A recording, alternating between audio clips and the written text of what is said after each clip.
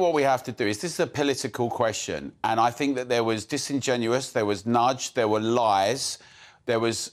it's become clear that in the exchanges there was all sorts of attempts to actually muddy the waters, what he was saying he didn't want to do, to actually obfuscate, to do things that were downright disingenuous and dishonest. Now, the question is that's, you know, the question of the legal question is another one. I think what's important is that as we're reeling from the consequences of Matt Hancock and Boris Johnson and others of the lockdowns, of the impositions, of the impacts to the care homes and families and people who couldn't see their nearest and dearest, the ongoing measures that were imposed on there, as we're reeling from that, we are able to say never again. Why did the pandemic strategy, the preparedness strategy, get jettisoned?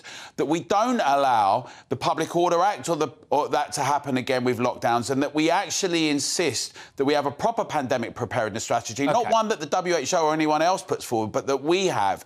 That we say we learn from these. We don't wait five or ten years for the COVID inquiry, and we insist never again because many people still don't actually realise that the reason we're dealing with some of these cost of living problems and issues in our health sector is directly as a consequence of lockdowns, which we should never have had.